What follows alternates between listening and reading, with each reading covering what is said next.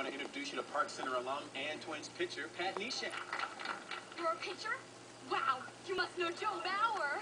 Does Joe have a girlfriend? What's Joe's favorite kind of cheese? Cheese? Does Joe smell nice?